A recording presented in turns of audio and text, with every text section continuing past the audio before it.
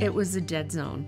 That's the only way to put it. You had a pedestrian mall. You know, you could walk down it and see very few people. I used to like to say you could roll a bowling ball down it and not hit anything. We had a clock that was stuck at a certain time, and we had ponds with uh, ugly green water. In the 1990s, not that many people really wanted to come downtown. The perception was it wasn't that safe, it wasn't very exciting and it was a place that people used to go. There was not much happening, but people wanted it to happen. It was almost like willing it to happen. Our downtown had so much potential, and for whatever reasons, it had been overlooked.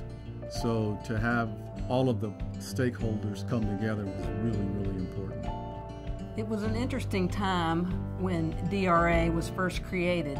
There were a lot of interest by property owners and uh, city leaders to do something about downtown, but no one was really that sure what to do. When the DRA came along, it was a way in which uh, the public sector at City Hall and the private sector in the business community through DRA could partner to envision what uh, Raleigh could be if uh, everybody got uh, sort of pulling in the same direction.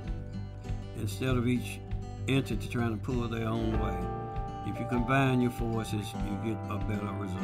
We formed that original board in 1996 and we met every two weeks for five years. Together, we all had a consistent vision of where we wanted Raleigh to be.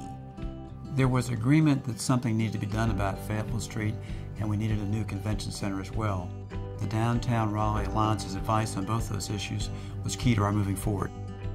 Without that support, we wouldn't have the kind of vibrant community that we have in the downtown area today. It's been amazing to me what's happened because there's such high energy levels right now. We really have a series of downtown events now that attract all elements of the community. People want to live, work, and play all in one area. And uh, Raleigh was smart to, to create a blueprint for that to happen the board realized that we had to be more than a clean and safe organization.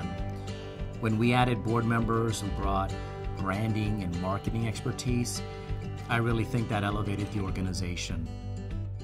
The challenges that downtown Raleigh has with activity, noise, congestion, they were the dreams that we had as a board because we didn't have any of those things. We were trying to get people to make sure that downtown was relevant, and now it's beyond that. It's uh, it's where people want to go.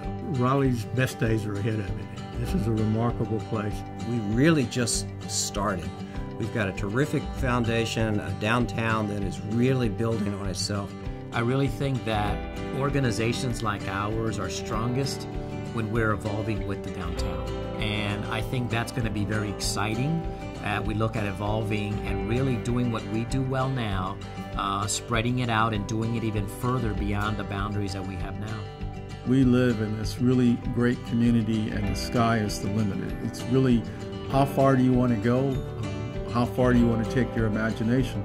Because the commitment, the leadership, uh, the assets are here.